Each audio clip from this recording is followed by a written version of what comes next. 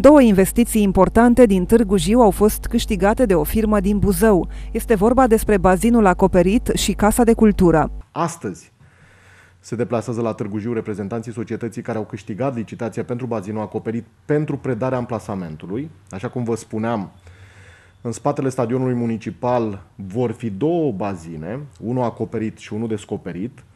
Cel acoperit realizat prin contribuția Companiei Naționale de Investiții, o o investiție evaluată la 2 milioane de euro, câștigată de o societate din Buzău, da, cu un administrator din ceea ce știu eu sau cu un acționar din Târgu Jiu, un gorjan al nostru.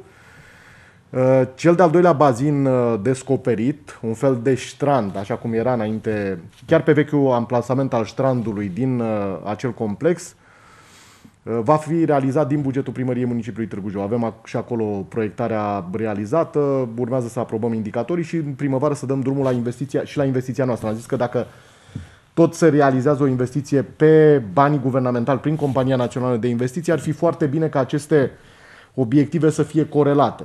Pentru că sunt mai multe lucrări pe care am putea să le facem împreună, inclusiv, până la urmă, zona de evacuare din cele două bazine, să găsim o soluție comună pentru a putea evacua apa din cele două bazine în, în râul Jiu printr-o stație de tratare, pentru că suntem obligați să avem așa ceva. Lucrările la Casa de Cultură vor începe din primăvara anului viitor.